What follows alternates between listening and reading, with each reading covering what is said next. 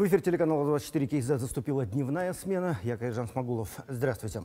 Свыше 21 тысячи заявлений от пострадавших в результате паводков зарегистрировано в региональных комиссиях. Более 12 тысяч семей уже получили единовременную выплату. Выделены 645 миллионов тенге на ремонт домов. 49 семей получили новое жилье. Информация об этом опубликована на официальном сайте премьер-министра.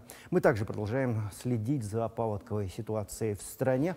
А, предлагаю обсудить ее прямо сейчас и создать своего рода объективную информационную картину происходящего. Надеюсь, в этом мне помогут мои гости. Но прежде чем э, обратиться к э, экспертам, давайте выслушаем представителей Министерства э, по чрезвычайным ситуациям, их региональных представителей. Э, на прямой связи с нами находится начальник управления гражданской обороны ДЧС Кустанайской области Даурен э, Рахметкалиев. Приветствую вас.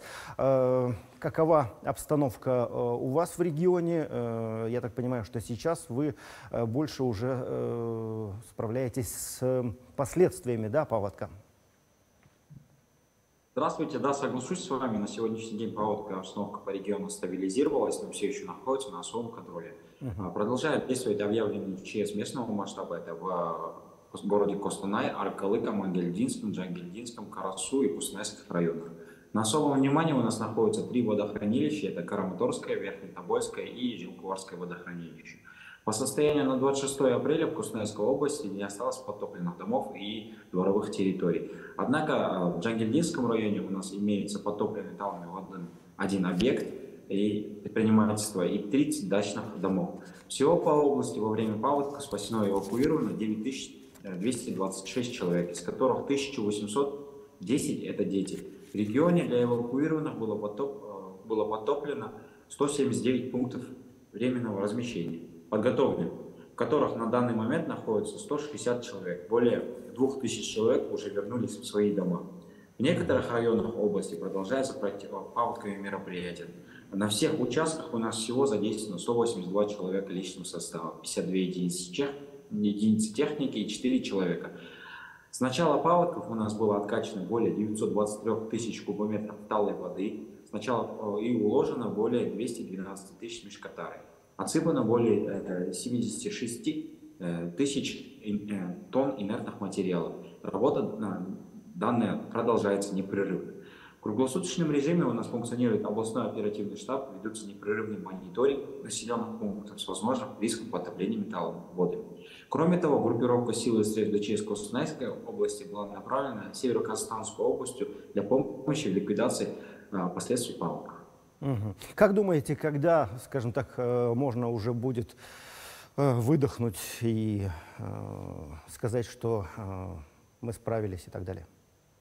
Ну, я думаю, на территории Костанайской области в начале мая месяца мы уже 100% э, можем говорить, что вода уже уйдет. Так как по последним гидропрогнозам на юге области у нас уже река Тургай, которая сейчас опасная, она уже уходит вниз. Сегодня уже на 34 сантиметра она спустилась. Это хорошая новость. Спасибо большое. А, что ж, для того, чтобы, скажем так, более объективной была картина. Э, предлагаю еще один материал. Дело в том, что овощеводческие хозяйства Костанайской области, э, пострадавшие от паводка, сдвинули сроки посевной кампании. Лед и вода повредили часть оборудования и техники. И э, большие потери связаны с выходом из строя поливных систем. Давайте взглянем на материал. Около 100 гектаров земли в этом хозяйстве, возможно, останутся пустовать. Посадка овощей здесь под большим вопросом. Во время паводка с полей смыло весь плодородный слой почвы. И самое главное, повреждена поливальная установка. Она обеспечивала и регулировала запас влаги на 70 гектарах одновременно. Уцелела только половина агрегата. Оставшаяся часть требует ремонта. Пытаемся что-то делать. Комиссия никакая не выезжает. Ждать не можем. Немножко уже начали поправлять эту машину поливочную. Самое страшное, то что ее, возможно, мы до осени не сможем даже восстановить. Эту площадь не сможем полить. А посадить и не полить у нас не вырастет ничего. По предварительным подсчетам, в общей сложности убытков в хозяйстве на 400 миллионов тенге. Вышедший из берегов Тобол затопил весь полевой стан. Вода стояла высотой 2 метра. Технику и контейнеры с запчастями до сих пор собирают по всей округе. Вот контейнер тащат, который тоже выловили. Как поводок прошел, каждый день ездим, ищем. Что-то нашли, но не все. Барабанного типа у нас машины не уплыли, тоже мы их не нашли. Из-за паводка сроки посева картофеля и моркови уже сдвинули на 5 дней, говорит аграрий. Ранних помидоров и огурцов тоже не будет. В теплицах пусто. Большую часть сейчас вот водой вымыло, намыло песок. Но это надо будет органику сверху добавлять, перемешивать, и только тогда будет какой-то толк. Электричество вроде бы все целое, но подводящие опоры все оборваны, и, скорее всего, льдом. Их надо тоже восстанавливать. Однако, по данным Управления сельского хозяйства, паводок все-таки не оставит регион без овощей. В этом году они займут больше пяти тысяч гектаров. Наталья Строкова, Сергей Трахтенберг, Устанайская область, 24 КЗ. Ну что ж, давайте переместимся в другой регион. На прямой связи с нашей студией находится официальный представитель ДЧС по Западно-Казахстанской области, лейтенант гражданской защиты Нуржан Тулеуш. Приветствую вас. Какова обстановка у вас, что э, нового и так далее? Добрый день, уважаемая студия, уважаемые зрители. Э, в данный момент э, обстановка по Западной области потихонечку стабилизируется. Э, так как я ранее говорил, то, что опасность от талых вод нет, главная опасность у нас производит это поднятие уровня реки Урал, угу. которая начинает федерации. В данный момент уровень реки идет на спад, сейчас составляет уже 8 метров 54 сантиметра, а опасная его отметка это 8 метров 50 сантиметров. А было его пиковое значение это 8 метров 66 сантиметров. То есть за три дня у нас спало на 12 сантиметров. И как сообщают нас специалисты по Казгидромет и Казводфозы, мы э, пик паводка уже прошли, э, уровень не поднимется, но все-таки в данный момент превышает свою опасную отметку, и в связи с этим у нас будут еще продолжаться все противопаводковые мероприятия по ликвидации паводковых явлений и по аварийно работам. Э, функционирует оперативный штаб, днем и ночью, днем э, действует мониторинг, обход домов, подворовой обход, оповещение жителей и эвакуация домашних животных. Э, в данный момент э, общечасовая курина жителей составляет 13 989, почти около 14 тысяч. Э, в 12 эвакуационных пунктах находится более 2000 людей, а остальные в основном они расположились у своих родственников. Mm. Ну, уже как шестой день, как у нас действует 6 Чрезвычайная ситуация местного масштаба. Это по области, по городу Уральск и по четырем районам. Это Потерикс, э, Буринский район, Терекинский район, Сырымский и Карачубинский район. Она будет еще действовать, пока мы не убедимся, что опасность э, ликвидирована. В связи с этим да, данные работы будут продолжаться. Это возведение дам, уплотнение и уложки мешкотары. Мы уже уложили более миллион трехсот тысяч мешкотары и 10-12 апреля были э, направлены в нашу область дополнительные средства, группировки из других областей нашей республики, точнее сказать, 12 областей из двух городов. Вчера э, отбили не отбили, а направили дополнительные средства в Атыравскую область, потому что там еще ожидается, потому что река Урал с Российской Федерации, Западно-Казахская область, потом Атыравская область и потом Каспийское море она будет навевать, и в связи с этим группе... Видимо, какой-то технический сбой э, произошел, но надеюсь, что в целом, э, скажем так, э, ситуация понятна. Э, Напомню, что э, на прямой связи... А, появилась связь, да? Э, господин Тулиуш, э, был небольшой сбой связи. Вот последние, так сказать, несколько предложений мы не услышали.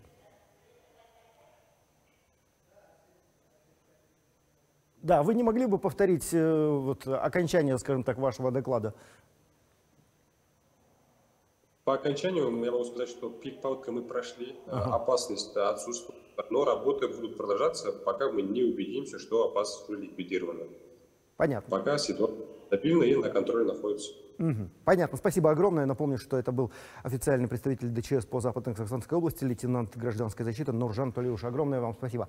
Что ж, эм, давайте обсудим, да, э, как говорится, два главных вопроса. Кто виноват и что делать. Э, ну, поскольку, так сказать, в данном случае э, мы имеем дело с природной стихией, то, так сказать, насколько мы, какие уроки, так сказать, мы из этого выносим, к чему будем готовы и так далее. Но прежде чем э, об этом поговорить, Хочу обратиться к директору э, научно-исследовательского э, центра Казгидромета э, Нурлану Абаеву. Господин Абаев, э, всех сейчас, скорее всего, волнует, э, ну, что будет в ближайшие э, дни, да, э, и э, что нас ждет летом. Потому что после такой большой воды, э, так сказать, э, нет ли у нас риска столкнуться с э, большой засухой, да? Как ни парадоксально это звучит. Ну, засуху еще э, летний период никто не отменял, потому что наш климат, он аридный э, и континентальный э, климат. Но в то же время э, северные регионы нашей страны за, вот, за период паводков и осенью, и зимний период, они очень э, хорошо увлажнились. Пропитались да, да? буквально, да, буквально на прошлой неделе мы, э, Казгидромет выпустил э, прогноз по засухам.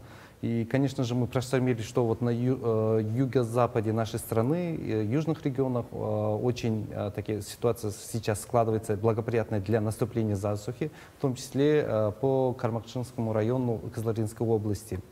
А, Вопрос на лето, а, прогноз. Э, Конечно же, составление прогнозов на летний период – это ближе к лету. Мы в мае, в середине мая у нас состоится форум специалистов гидромедслужб стран СНГ. Мы так называем Евразий- Евразийским климатический форум называется. Все специалисты-долгосрочники соберутся и будут определять, анализировать текущую ситуацию, циркуляцию атмосферы, состояние мирового океана и подстилающей поверхности. И мы вынесем консенсусный прогноз э, уже к 16 числу э, мая. И в этот период э, мы представим прогноз на сезон, на предстоящий июнь, июль, август этого года. И согласно этому прогнозу консенсусному мы дадим конкретно в какие периоды у нас в стране и в каких регионах могут возникнуть вот такое опасное явление, как засуха. Ну а в целом, э, я правильно понимаю, что э, не только мы, я имею в виду Казахстан, э, сталкиваемся вот с таким явлением, как изменение климата и так далее? Ну, это уже не новость, это во всем мире, да, э, о, мы встречаем уже последствия изменения климата, потому что изменение климата уже наступило. И, как вы знаете, изменение климата, она прослеживается не только в повышении глобальной температуры, там, изменениях характеристик от- выпадения атмосферных осадков. В то же время э, одним из таких э, показателей изменения климата это частота и интенсивность тако- стихийных гидрометеорологических явлений. Вот в этом году, например, наша страна столкнулась одним из э, таких э, масштабным э, проявлением да, э, изменения климата. А Какие причины к этому могут быть? Например, зимний период у нас осадки выпадали в виде дождя северных регионах страны.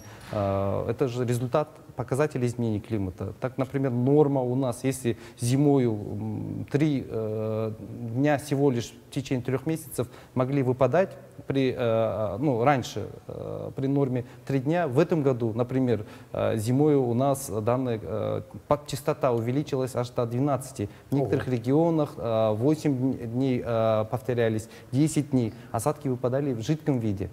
То есть э, у нас зимы теплеют и становятся более влажными. Э, это показатель изменения климата. Э, Безусловно, безусловно. Что ж, э, как, собственно, э, и говорят эксперты, э, глобальные изменения климата затрагивают практически всех. Ну, наверное, вы помните, да, что вот буквально на днях, так сказать, э, затопило э, Дубай из-за продолжительного э, ливня. Наводнение происходит и в других странах. И, кстати, м, бывает, что и с жертвами. Давайте взглянем на материал.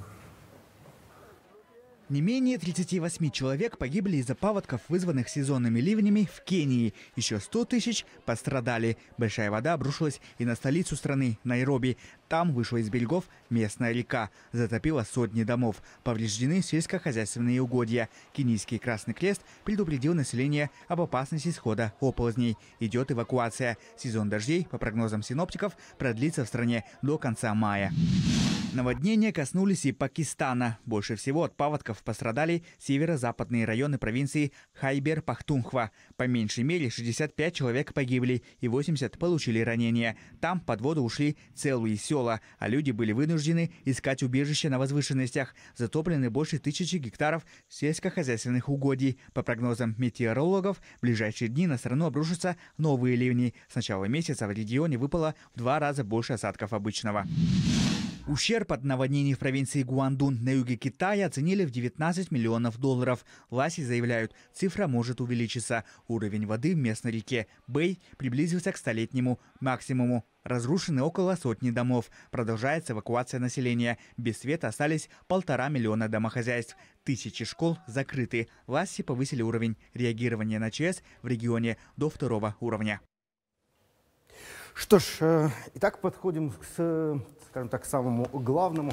Э, ну, наверное, э, какие выводы да, мы должны сделать из, собственно, этого э, сезона паводкового и э, каким образом будем готовиться к, возможно, так повторению подобных э, непростых условий. И вот об этом хотелось бы поговорить с представителями Министерства по водным ресурсам У нас в студии находится заместитель директора Департамента водной политики Министерства Марат Манулиев. Здравствуйте. Э, И э, руководитель управления государственного контроля в области э, использования и охраны водных ресурсов Комитета по водным ресурсам э, Министерства э, Сакен Атель. Здравствуйте. Э, Также у нас э, присутствует PhD, эксперт, гидроэколог, руководитель Центра экосистемных решений EcoMind э, Арман Утепов. Здравствуйте. Ну что ж, э, давайте начнем с вас, господа, поскольку вы представляете министерство, которое, ну скажем так, э, играет во всяком случае, призвано, так сказать, играть первую скрипку в решении водных вопросов. На ваш взгляд, господин э, Иманалиев, э, какие выводы мы уже сейчас можем сделать из того, что произошло? Вывод номер первый. Уже не будет так, как раньше.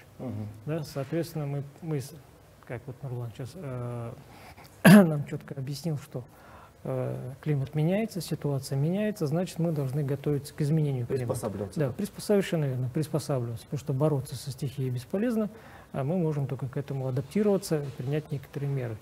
Значит, э, схематично примерно это должно выглядеть, выглядеть следующим образом. Это значит, мы должны э, полностью пересмотреть систему прогнозирования, да, то есть модернизировать, почему мы должны понимать, как это все будет происходить, прогнозировать. Дальше, соответственно, при наличии прогнозов достоверных и наиболее максимально возможно точных прогнозов а, моделировать ситуацию. Соответственно, раз моделирование ситуации мы должны уже принимать, э, А разрабатывать соответствующие, соответствующие ну, скажем так, э, инструменты э, там, э, прогнозирования и так далее, они есть, да? То есть Ну, эм, Да, в принципе, все это да, все это существует. Я думаю, Нурлан нам больше, нам э, более профессионально это расскажет. Но совершенно верно, это наблюдение, составление некоторых э, выявления закономерностей и, соответственно. То есть мы понимаем, чем больше точек, э, чем больше пунктов наблюдений, тем прогноз лучше, чем больше взаимодействия э, с соседями и в целом по миру, тем прогноз лучше. безусловно. Поэтому здесь ничего, как говорится, сверхъестественного нет. Э, Господин Атель, э, помнится, мы с вами и в этой студии, и в рамках другого проекта интервью беседовали о том, как, ну скажем так, как правильно, рационально распорядиться э, той водой, да, которая сейчас она вроде как э, представляет э, угрозу для домов, для людей там, и так далее. Но, э, вот как представитель Казгидромета э, отметил, не нулевая во всяком случае вероятность того, что летом эта вода может очень и очень понадобиться. Да? Э, Вы, помнится, рассказывали м, о неких планах министерства по э, созданию, так сказать, э, гидротехнических сооружений, призванных сохранить эту воду, даже рискуя в какой-то степени повториться. Можете об этом еще раз рассказать? Э, Министерством до 2030 года планируется построить 20 новых водохранилищ это в 10 областях Казахстана. Помимо этого планируется реконструкция 15 действующих водохранилищ и реконструировать 3,5 тысячи каналов, э, километров каналов э, оросительной сети.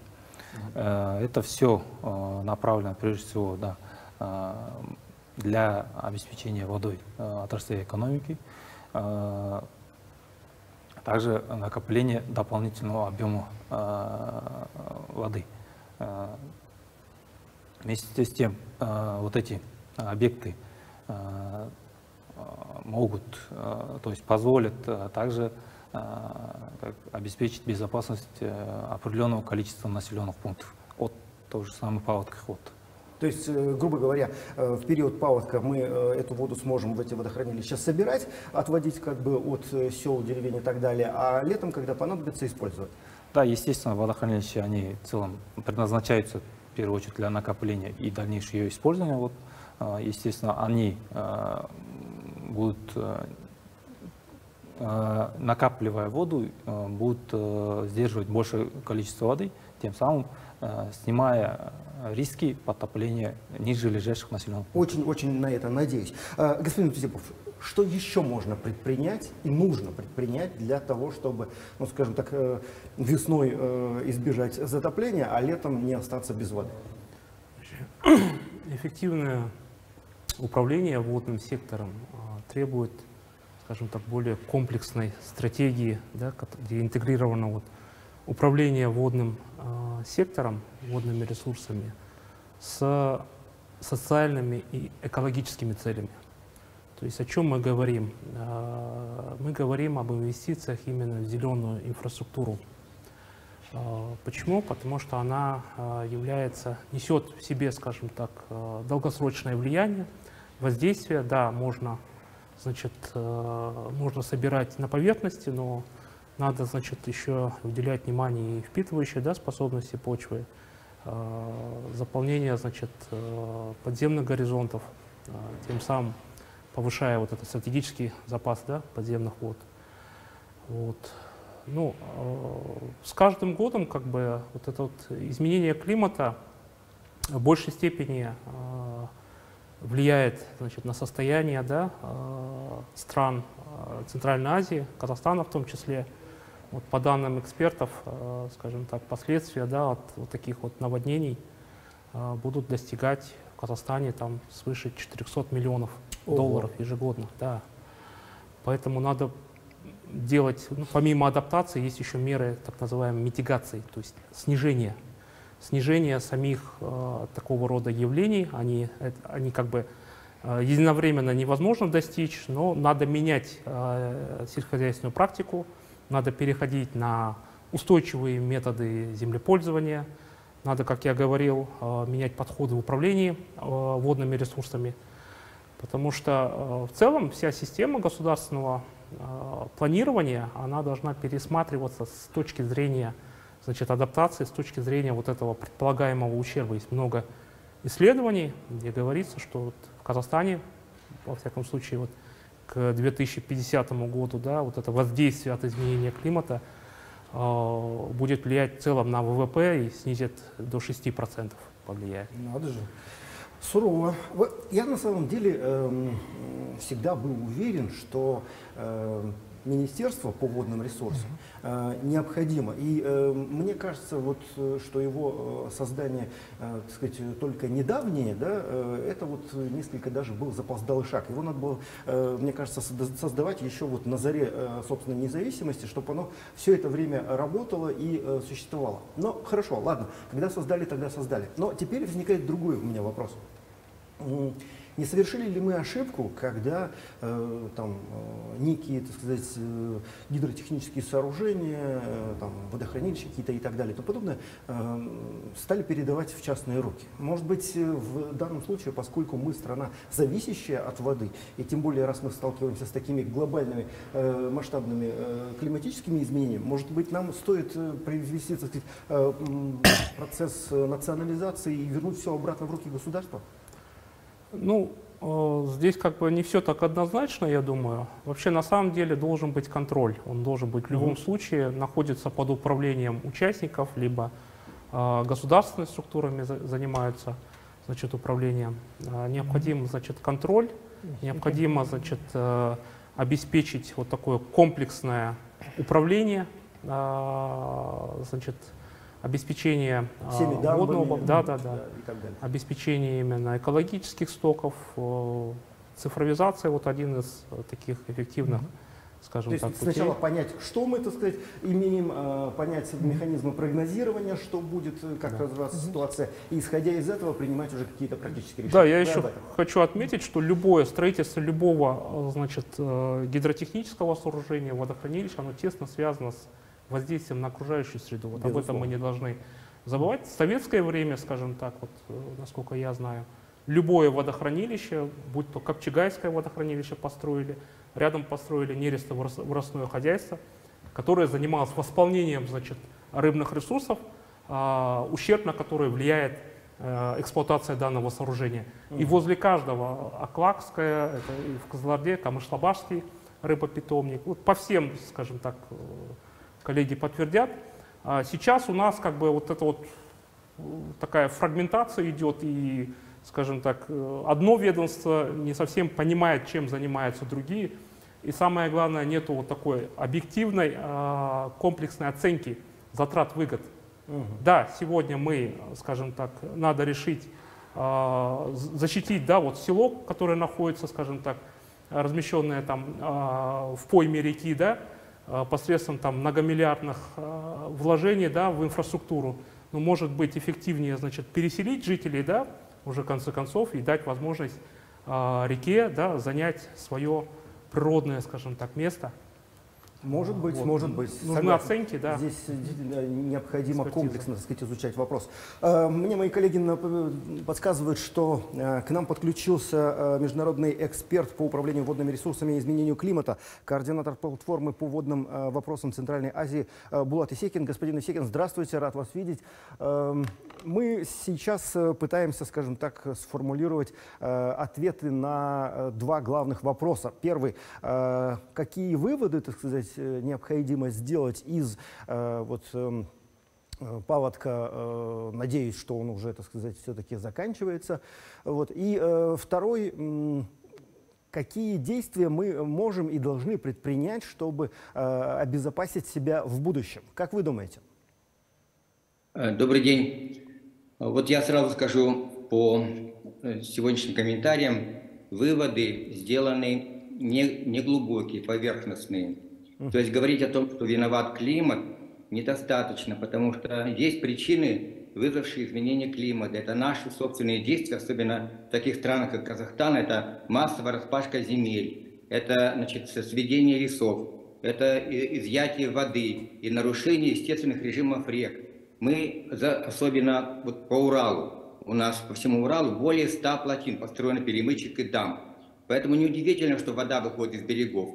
И неудивительно, что мы нарушили естественные процессы и теперь пытаемся бороться с ними те, продолжением тех же методов, то есть увеличением количества плотин. Вот во всем мире сейчас разрушают, э, значит, э, избавляются от плотин. Более тысячи плотин снесено за последние годы в Европе и США. Потому что, как оказалось, что нарушение, вот эти тромбы в сосудах живого организма, они, естественно, вызывают болезнь. Биосфера нам отвечает такими явлениями. Поэтому нам необходимо, э, наоборот, искать решения не по э, борьбе с последствиями, то есть плотины строить новые, а по, по устранению причин этих нарушений. Причина нарушения – это нарушение природных процессов, которые мы сегодня нарушили и продолжаем нарушать вот этими новыми стройками. Поэтому, если в вашем теле поставить 20 тромбов, то, то неудивительно, что у вас поднимется температура, то, что и происходит сегодня на планете.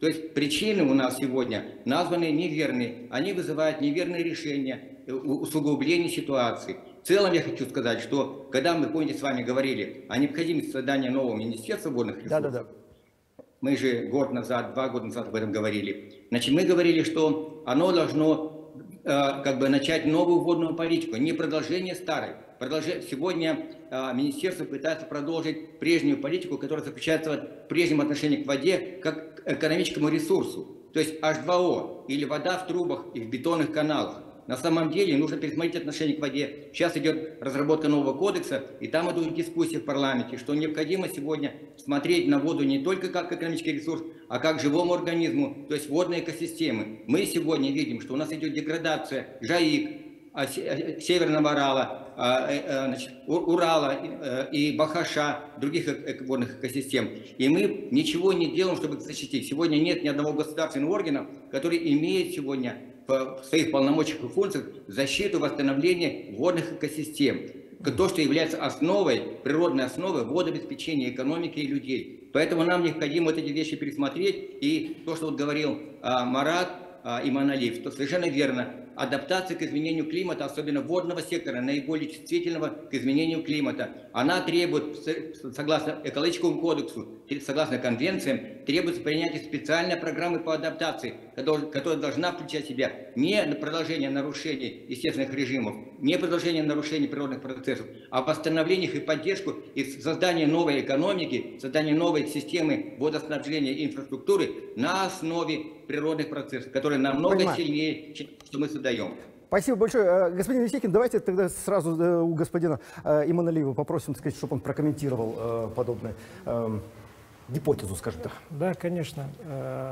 Влад Камалбекович и вот Арман не дадут мне соврать. Почему? Потому что мы действительно обсуждаем сейчас водный кодекс, новый проект нового водного кодекса. И вот Арман и Булат Каврич активные участники этого процесса. На самом а это должен быть, насколько я понимаю, такой основополагающий документ, да. регулирующий э, в этой сфере сейчас водной. Я да.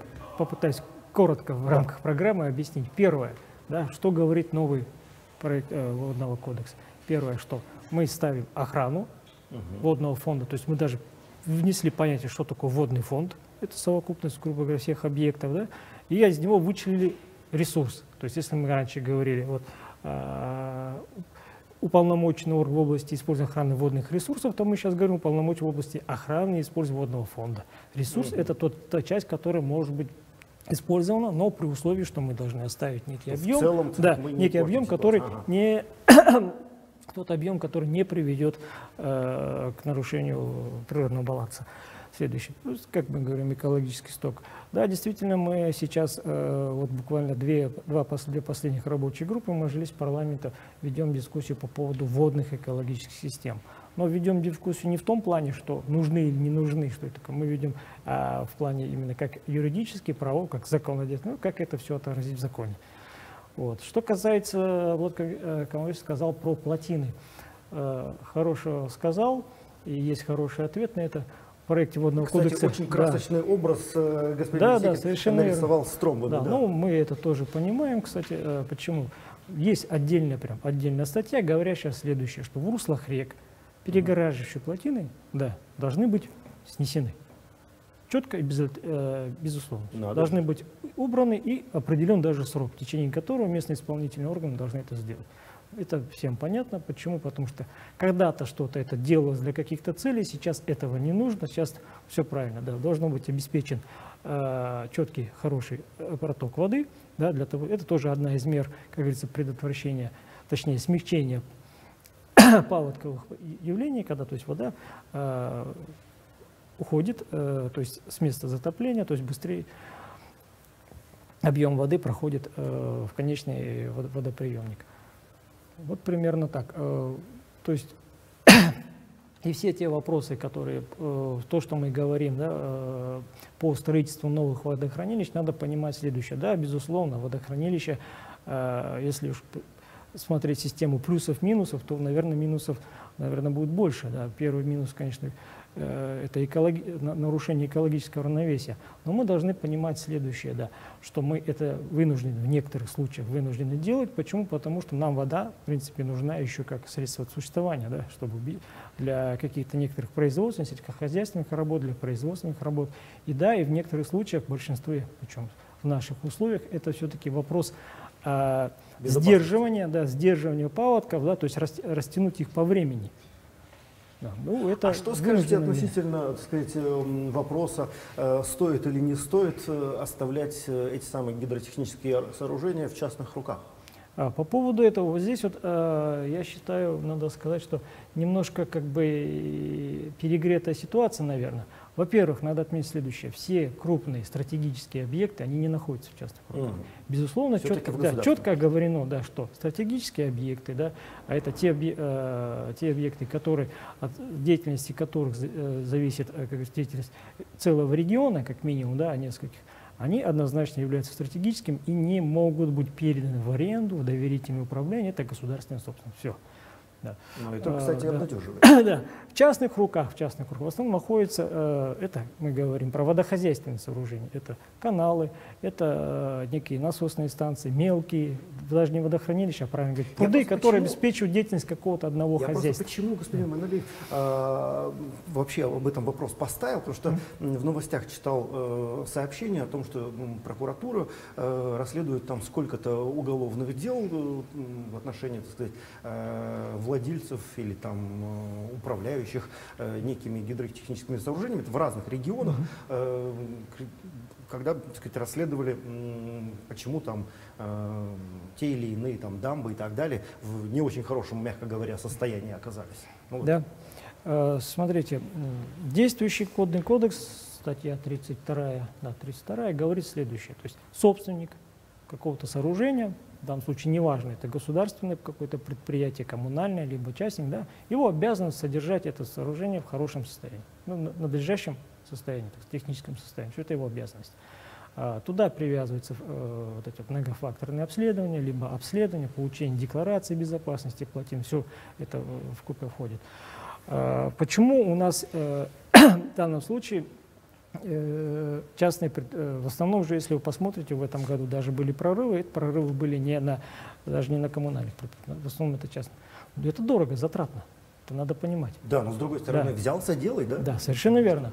Да, и сейчас вот в проекте нового кодекса это более четко прописано, да, что есть должна быть. э, то есть мы, если сейчас в, проек- в действующем кодексе это раскидано по всему кодексу, мы сейчас это собрали в одну главу отдельную, да, где четко все прописано. Когда Что- ожидаете, что документ уже пройдет э, Мажилис, потом Сенат и уйдет на подпись президента? Ну, Мажилису мы не можем диктовать. Я да, понимаю, ну, прогнозы, прогнозы. Ну, мы ожидаем, что вот как вам сказать, давайте я не буду про сроки говорить, да, все-таки э, говорится. Но я вам просто, нет, не то, что сглазить, чтобы вы понимали. Сейчас у нас в работе, да, в рабочей группе мы рассмотрим таблицу порядка 500 поправок. Ого. Да. Это много, с одной Много, стороны, да, но это не говорит о том, что кодекс большой, это говорит о том, что э, есть большая заинтересованность, как среди экспертов, вот то, что сейчас вот была конкурсия Арман, вот они действительно члены рабочей группы и довольно активно участвуют, да, и в целом и у деп- депутатов тоже, если еще ожидается примерно столько-то же поправок, да. Э, Большая работа, да, согласен. это очень, да, действительно Ну, большая надеюсь, громадная. что она пройдет э, плодотворно и эффективно, и нам, так сказать, э, в будущем хотя бы э, удастся хоть как-то смягчить изменения в природе, которые происходят, потому Могу что... вас в этом заверить. Ну, во всяком случае. Давайте взглянем тогда на материал, как раз-таки э, м, о том, что в Актюбинской области возмещают ущерб пострадавшим. 29 марта в Атикибийском районе прорвало плотину. Из берегов вышла река Иргиз. Из села имени Тимирбека Жургенова пришлось экстренно эвакуировать жителей. Дом Гульзады Утимуратовой оказался в воде. Не работает у нас стиральная машинка, две кровати развалилась полностью, э, и полы негодные, стены, стены все внизу сгнили. Невозможно жить там, потому что уже я, я боюсь, что завалится дом. И вот теперь обещали нам дом построить, ждем. Вот уже через два дня сказали, начнут фундамент там ставить. Не выдержал натиска воды и саманный дом Базаркуль Нуржановой. В стенах гостиной, кухни и ванной появились трещины. Затопило и небольшой сарай во дворе. Погибли козы и овцы. Вода доходила до пояса. Никогда раньше такого не было. Комиссия приходила, компенсацию за погибший скот уже выплатили. Еще получила единовременную помощь. Дом восстановлению не подлежит. Его решили снести. Всего в районе единовременную помощь в размере 300 тысяч тенге получили больше 100 семей. 41 семье выплатили компенсацию за поврежденное имущество. Жителям, чьи дома не подлежат восстановлению, построят новые. Из 46 а, домов а, 20 а, жильцов выбрали а, вариант а, строительства нового дома. Кто-то у себя на участке, кто-то выбрал участок, предоставляемый Акиматом. Из них 15 домов а, в районном центре, 5 домов а, в селе Кумкудук. Остальные жители вы- выбрали вариант выкупа готового жилья на вторичном рынке. Дома для пострадавших от паводков будут строить по утвержденному проекту. Их площадь составит 80 и 100 квадратных метров. Сейчас ведутся переговоры со строительными компаниями, которые займутся возведением жилья. Наталья Салькова, Булат Молдогалиев, Актюбинская область, 24 КИЗ. Так, господа, у нас осталось буквально три минуты эфира, поэтому э, давайте, так сказать, э, подведем результаты очень э, компактно. Э, итак, господин Абаев, э, нам говорят, что м, подобные, так сказать, э, большие масштабные климатические э, удары бывают э, все-таки не так уж часто. Там э, кто-то называет цифру раз в 50 лет, кто-то говорит раз в 80 лет. Ну и опять же, так сказать, есть такое поверье, что два раза снаряд в одну и ту же воронку, так сказать, не падает. Но можем ли мы быть уверены, что в следующем году, весной, подобная ситуация не повторится? А, Мы не можем быть уверены, потому что а, то, что говорят один раз 50 лет, 80 лет, это математический аппарат. Математики понимают, что это не означает, что ровно 80 лет должно пройти. Это в течение этих лет, это, а, такого масштаба явления могут повториться несколько раз. Аж может быть до десятков, до 20 раз повториться. Мы э, будем мониторить и в следующем году.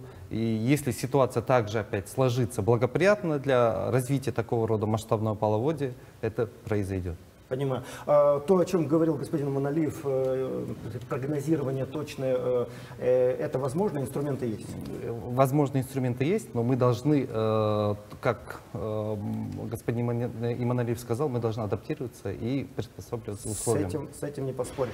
Так, э, тогда давайте, так сказать, э, что делать? Э, Очень коротко.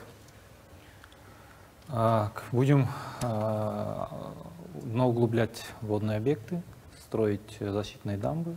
А, Это в то же время надо подходить индивидуально по каждым населенным пунктам. А, Также э, необходимо для обеспечения отрасли экономики строить новые водохранилища. Согласен? Хорошо.